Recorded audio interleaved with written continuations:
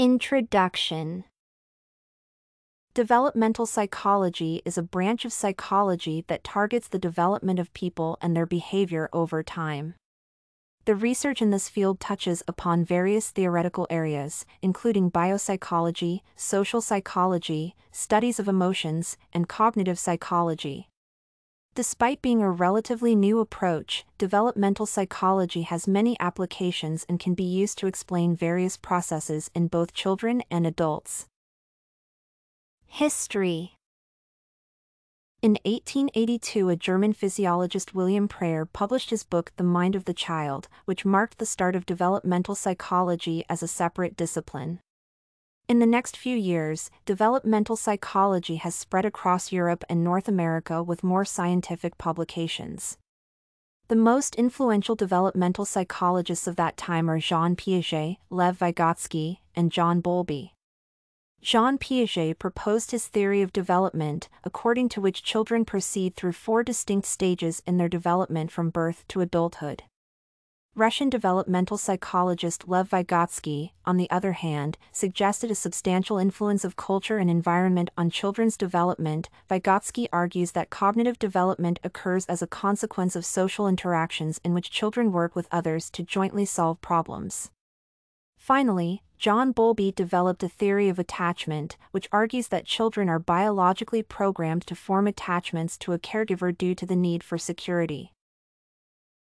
Focus As evident from the history of this approach, developmental psychology focuses primarily on children's development. Indeed, a huge part of a person's growth occurs in early childhood, and there is little to no development in adulthood.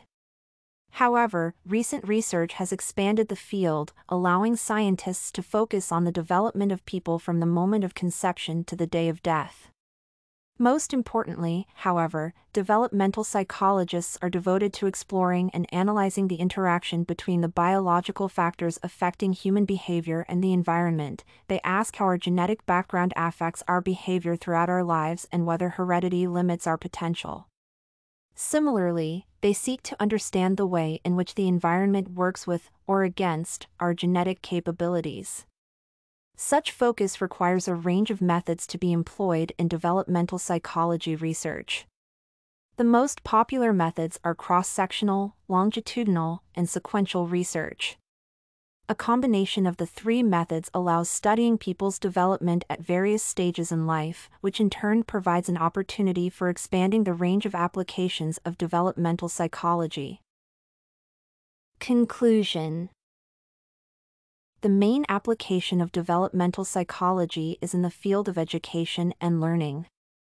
Pourchot and Smith state that exploring not only children's development but also the developmental patterns in adults and elders makes this approach crucial to the creation of effective learning strategies for adults.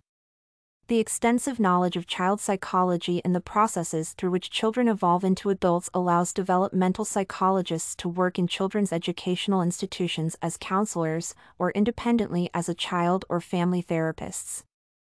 Overall, developmental psychology is a flexible approach that has various practical applications, as well as extensive research potential.